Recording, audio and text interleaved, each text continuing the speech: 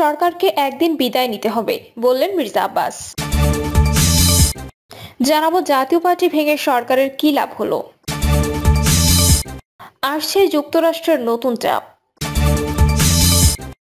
এবং সর্বশেষ জানাব ফলের দাম বেশি রাখায় ছয় প্রতিষ্ঠানকে জরিমানা। শুনছিলেন সংবাদ শিরোনাম, এবারে বিস্তারিত। সরকারকে একদিন বিদায় নিতে হবে, বললেন মির্জা আব্বাস। বিএনপির স্থায়ী কমিটির সদস্য মির্জা আব্বাস বলেছেন, স্বৈরাচার সরকারের ক্ষমতা দীর্ঘস্থায়ী হতে পারে, তবে টিকে থাকতে পারবে না। এর সরকারও টিকবে না। স্বৈরাচার এর সরকারকে একদিন বিদায় নিতে হবে ইনশাল্লাহ গত শনিবার নয়াপল্টনে দলের কেন্দ্রীয় কার্যালয়ের সামনে ঢাকা মহানগর দক্ষিণ বিএনপির আয়োজিত সমাবেশে দেওয়া বক্তব্য প্রসঙ্গে আব্বাস বলেন, আমার বক্তব্যটা ছিল এরকম। আওয়ামী লীগ জনগণের কোনো দাবি মেনে নেয়নি, ফলে বিএনপি নির্বাচনে যায়নি। জনগণের দাবি যদি মেনে নিত, বিএনপি নির্বাচনে যেত, কিন্তু তারা কোনো দাবি মানেনি। এই বক্তব্যটায় কয়েকটি পত্রিকা টুইস্ট করেছে। বহু কথাবার্তা বিভ্রান্তি সৃষ্টি হতে পারে, সেজন্য বিষয়টি পরিষ্কার করলাম। জামিনে মুক্তি পেলেও বিএনপি নেতাকর্মীরা এখনও পরোক্ষভাবে বন্দী বলে অভিযোগ করেন আব্বাস। তিনি বলেন বিএনপির সব নেতাকর্মীকে এখনও পরোক্ষভাবে বন্দী করে রাখা হয়েছে। এখন সবাই বন্দী আছে। কেউ এখনও স্বাচ্ছন্দ্যে চলাফেরা করতে পারি না। এই ভয় লাগে কখন পুলিশ আসে, কখন নিয়ে যাবে। তিনি বলেন, আমরা তো সাময়িকভাবে মুক্তি পেয়েছি। আমাদের তো আর খালাস করে দেয়নি, অসুস্থতার জন্য জামিন দিয়েছে। আমরা এখন ওই যে খাঁচায় পোষা মুরগির মতো অনেকটা।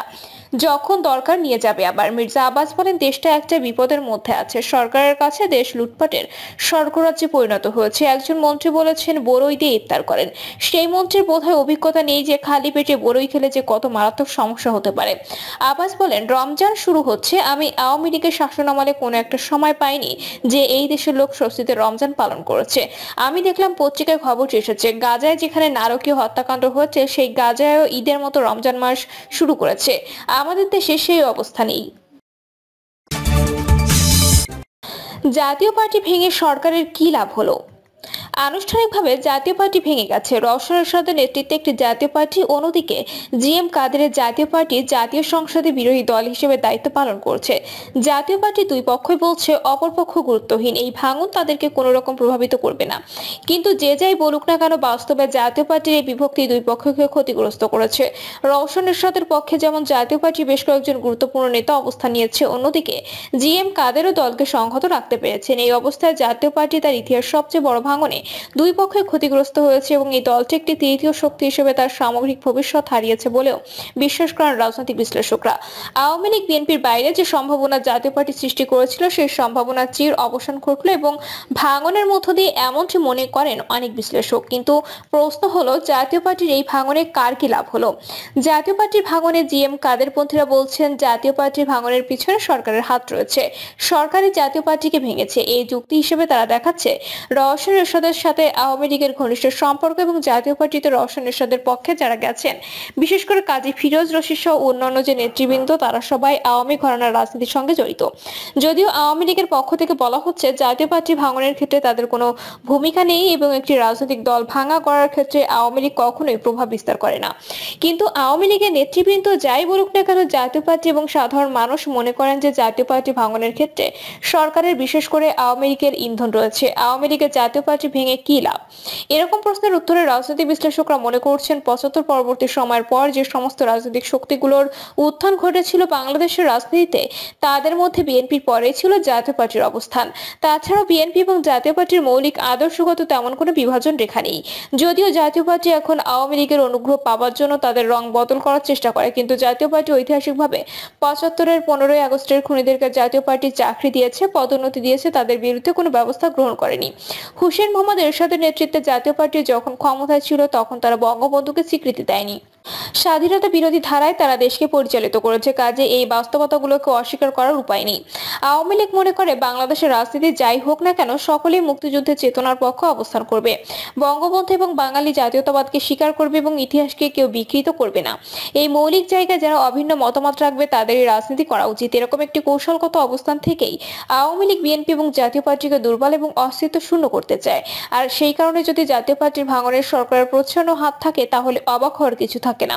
পঁচাত্তরের পরবর্তীতে বাংলাদেশ যে মুক্তিযুদ্ধ বিরোধী রাজনীতির মূলধারা দখল করেছে, সেই রাজনীতির জঞ্জাল পরিষ্কার করার ক্ষেত্রে আওয়ামী লীগের এই কৌশল অবস্থানে আদর্শিক লাভ অনেক।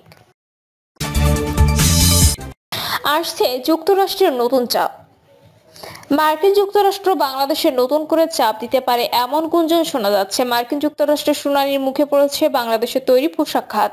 যুক্তরাষ্ট্রের বাজারে তৈরি পোশাক রপ্তানি করে এমন পাঁচটি দেশের বিষয়ে শুনানির মতো সোমবার ভার্চুয়ালি আয়োজন করেছিল যুক্তরাষ্ট্রের সরকারি সংস্থা আন্তর্জাতিক বাণিজ্য কমিশন, যাকে সংক্ষেপে বলা হয় ইউএসআইটিসি প্রায় চার ঘণ্টা এই শুনানিতে বড় অংশ জুড়ে ছিল বাংলাদেশ গার্মেন্টস শ্রমিকদের অবস্থা, শ্রমিক স্বার্থ এবং প্রস্তাবিত নতুন শ্রম আইন।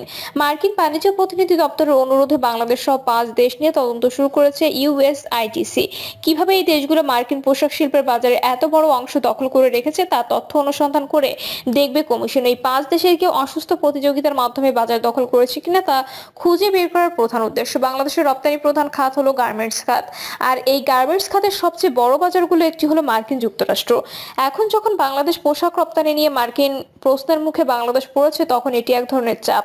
সামনের দিনগুলোতে যদি এ নিয়ে ইউএসআইটিসি কোনো ব্যবস্থা গ্রহণ করে, সেটা বাংলাদেশের জন্য একটা বড় চ্যালেঞ্জের বিষয় হতে পারে বলে অনেকে মনে করছেন।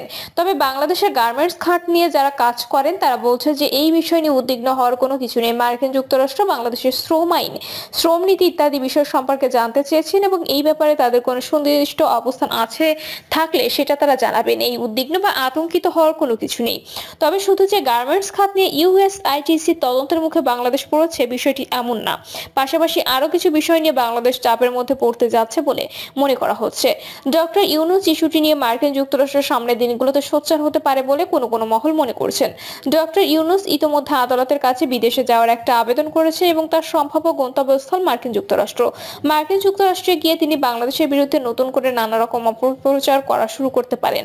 ইতোমধ্যে ডক্টর ইউনুস দেশে এখন বাংলাদেশ এবং সরকারের বিরুদ্ধে প্রকাশ্য প্রচারণায় নেমেছেন।